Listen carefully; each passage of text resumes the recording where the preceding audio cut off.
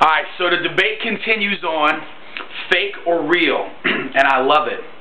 I love nothing more than going on these sites and talking about um, typing stuff like I love fake sneakers, right? Because it gets people so heated, and I think it's so funny to play devil's advocate and see hear some of the stupid things that you guys say. All right, the bottom line is this: if I can't find a pair of pigeons, and you can cop them for 75 bucks, and they feel and look great, why would you not buy them? If you're like a if you're a true sneakerhead, Tiffany's, why would you not cop them?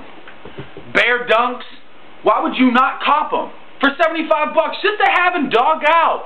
Fake or real. That's not real.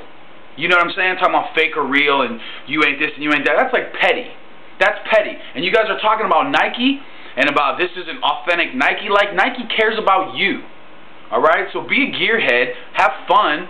And if every once in a while you end up putting a pair of sneaks out into the marketplace that are a little bit too small that you can't wear, don't question somebody like, oh, those are fake, dude, blah, blah, blah. You either buy them or you don't. It's simple as that. These look, dude, if these don't look, I know what the S, the real SB Papa Bear Dunks look like.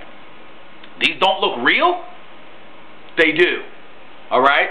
So cop them for less and just don't get ripped off and spend your money wisely.